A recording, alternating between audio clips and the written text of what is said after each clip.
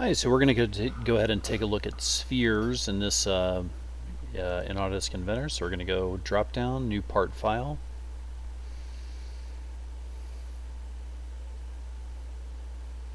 And it always takes just a second to start up on the first time you do a drawing when you turn on your machine.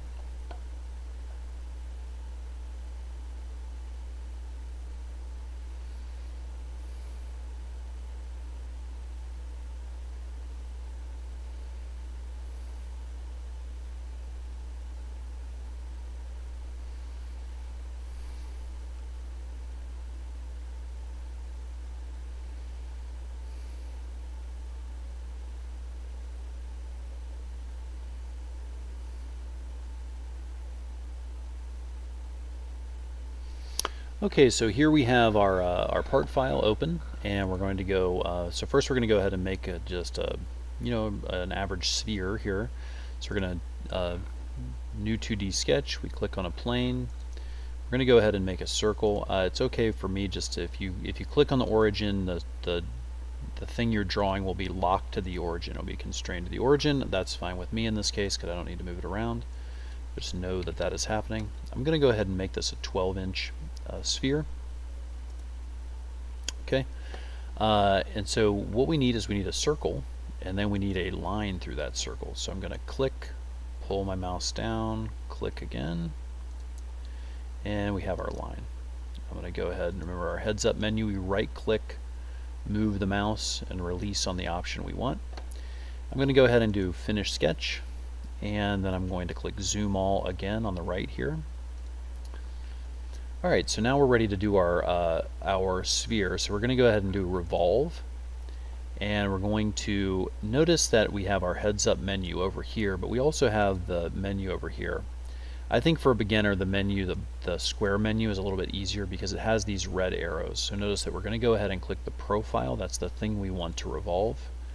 Then we're going to click the arrow next to axis, and we're going to click the line. So that's the line about which we are revolving. Okay going to go ahead and click the line and we're going to get this nice preview. We can also do just an angle, so we could just do a 90 degree. Notice that. In this case, we want a full sphere, so we're just going to go uh, full. Okay, I'm going to go ahead and click OK. Now, one of the thing when working with spheres is that uh, people have a have, have an issue with uh, well, uh, they want to make something else on the sphere, like some additional um, uh, drawing or some additional feature on the sphere, but they're not sure how they can add the sketch. Okay, can't add a sketch. You uh, you have to have a flat surface to add a sketch to. So the way that you do this is use a work plane. So we're going to go ahead and do the drop down for work plane, and uh, you want to just go ahead and do this in this order when you're starting out. So we're going to go um, uh, offset from plane right here. So to click the drop down for plane, we click offset from plane, and then what we're going to do. Actually, we're just going to click plane. Sorry click cancel. just click plane, just plain old plane. Uh, and we're going to do a drop down for origin. And notice that now what we're going to do over here in the browser, we're going to go under part one and we're going to do a drop down. We're going to open up origin by clicking the little triangle next to it. And then we're going to click just whatever plane we want to use. In this case, we're going to use uh, the XY plane. Now what we're going to do is we actually can go ahead and notice notice that when I um, when I click on here, notice that it's actually going to place the plane on the surface of the uh, of the um, sphere okay? Now I could move this out if we want but this is exactly what we want to do okay? So I click the sphere and it basically places the plane on the outside of the sphere right there which is just fine alright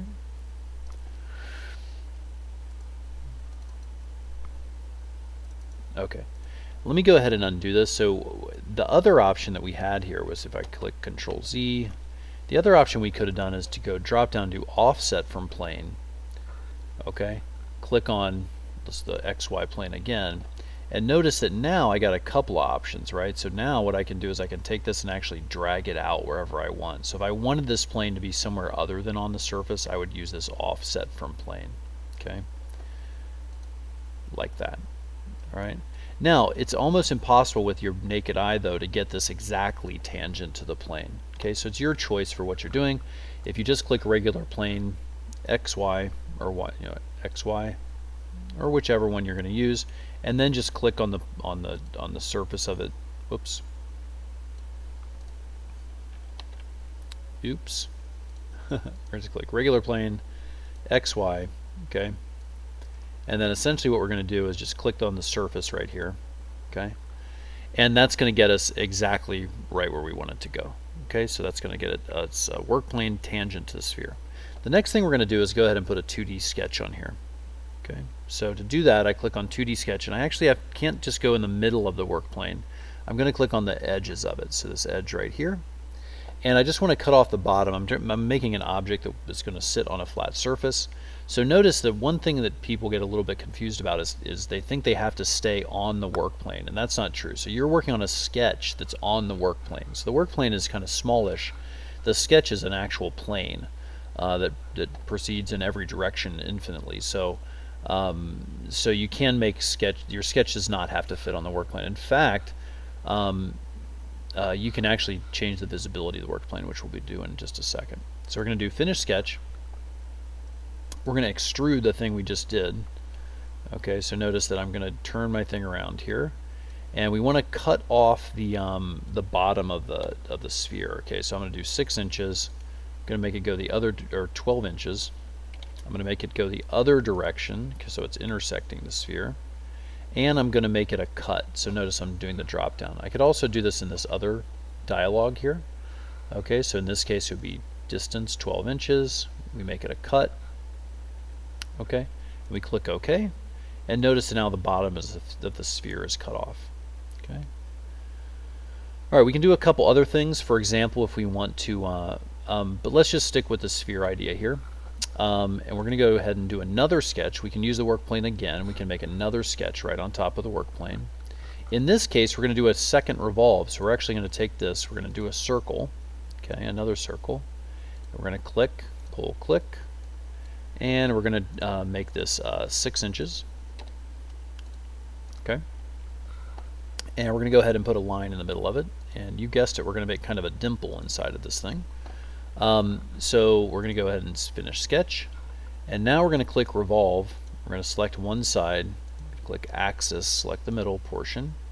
And this time we're going to go ahead and cut. So we're going to go ahead and change this to cut. We can do it here in the in the uh, square in the window that comes up, or we can do it in the heads up display. And we go ahead and click uh, check. And now we can go ahead and click on the work plane, right click and change it to not visible. And there we have our objects. We got this kind of uh, circle with a dimple in it. Okay, uh, there we have it, working with spheres.